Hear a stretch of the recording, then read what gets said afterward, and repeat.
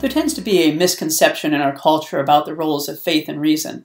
A lot of people believe that faith is that which can't be proven true. It's that which you believe but can't be proven true. Reason, on the other hand, is the faculty by which we come to know truth. I recently saw this expressed nicely in a video that was sent to me by one of my most loyal viewers who happens to be an atheist.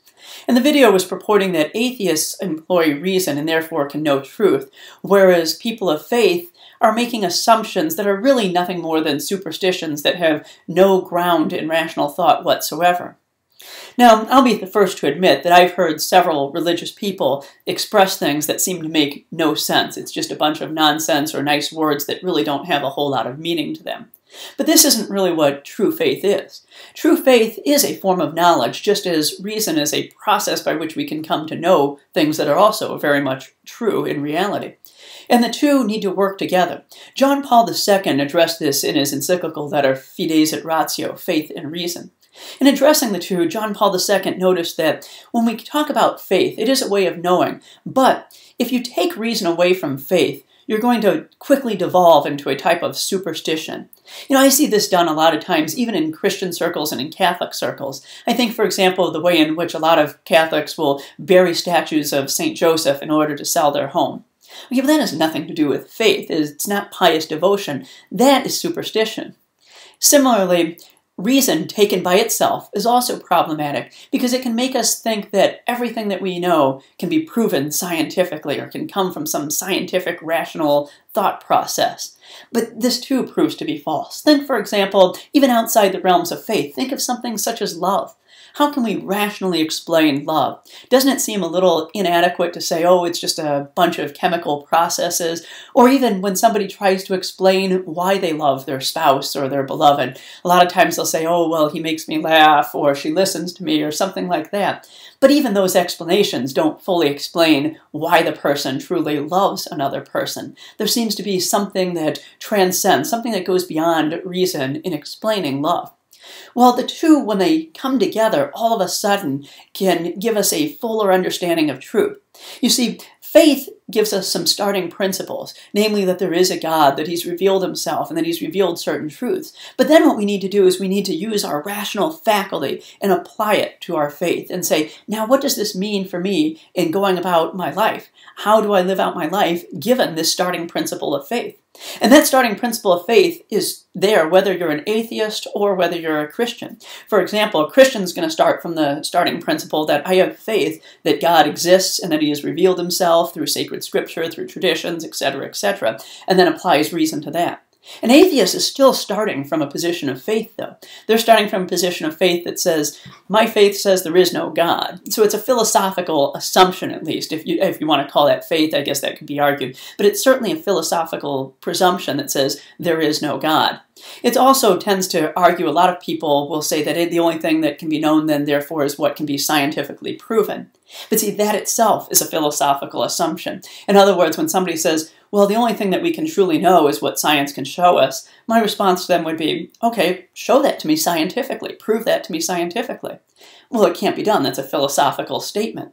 Similarly, science rests on other philosophical presumptions. One of them is that the world is in fact intelligible. If you don't first assume that you can know something, then science makes no sense whatsoever. If we assume that the world is just completely unintelligible and irrational, then science can't even get off the ground. Another thing that science seems to depend upon is the fact that the future will resemble the past. Uh, but the only basis that we have for saying that the future is going to resemble the past is that in the past, the future has always resembled the past. So it's a cyclical argument there, and it's not something that we can truly prove. We just have to take that as an assumption. So both Christianity and atheism rest on assumptions that really can't be proven by science, nor is it science's realm to prove that. See, that's the point that John Paul was trying to make, is that science is a way of knowing things. And what we learn scientifically certainly shouldn't be at odds with our faith. Otherwise, we need to rethink both of these things. Either the science has failed or our faith has been flawed in some way, or what we believe needs to be rethought. But we can say that science is not a way of knowing everything and nor is faith a way of explaining everything. So another thing that people will be critical of are statements that you'll find in the scripture, such as Joshua halting the sun in the sky, and people say, well, that shows the era of Christianity right there because the sun doesn't rotate around the earth, and it seems to imply that. Well, the Bible in that passage isn't trying to give a scientific explanation. Science will give us the explanation of how our solar system works or something like that. To try to say that the Bible is trying to give a scientific explanation of things is a fallacy right there. It's trying to make a moral point, it's trying to make a faith point there, but not a scientific point. So we have to be careful how we apply our faith and our reason. Certainly there are times when our faith will tell us things, and it might use poetic language, so it's going to say things that might not be scientifically accurate, but it's not trying to make a scientific commentary. It's trying to make a theological commentary or a moral point, perhaps. Similarly, science can make points and it can teach us things about the universe, but science is never going to teach us proper moral behavior. The only way we're going to learn that is from some sort of a value system based on some kind of a philosophical understanding of, of who we are. And namely, for us as Christians, we'll say that comes from our faith. God has revealed to us who we are, God has given us our moral code. But even for somebody who's not of faith, they do have to come up with some kind of a moral code to abide by, and that moral code is not going to be given to you by science. So it has to be grounded in some kind of a philosophical system there. So faith and reason aren't at odds with each other. Rather, when they work together, we get the fullness of truth. We can come to this sense where we know who we are as on a scientific level, in other words, how we're composed, what our bodies are made of, how we can treat illnesses, how we get diseases, these types of things.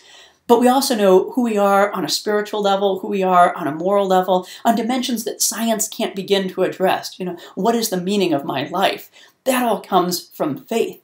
And that's also knowledge. That's true knowledge. It's who we are. It's been revealed to us by God. And the fact that science can't prove it doesn't mean that it's not a form of knowledge.